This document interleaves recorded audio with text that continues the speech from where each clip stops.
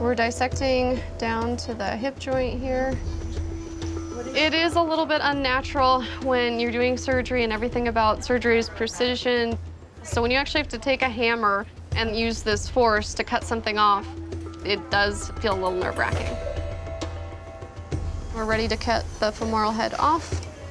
I'm a little bit nervous. This is the first time that I'm going to be in charge of the chiseling of the bone. The angle on these is really important because if your angle is too steep, you can cut into the femur and split it. So what you're trying to do if you've got the ball sitting on top of the femur is cut a 45 degree angle.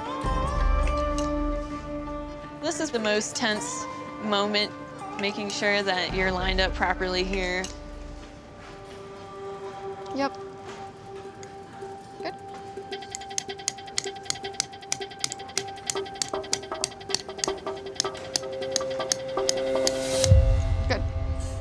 Good, good.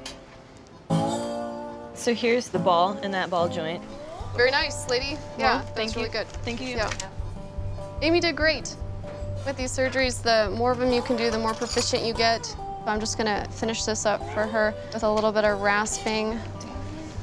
We want to take all of the femoral neck there so that there isn't any bone that grinds. Now we're just gonna close up.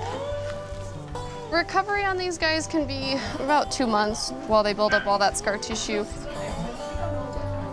Riley's future is looking good. We need to rehab him and get him stronger on that leg, but we're, we're on that path now.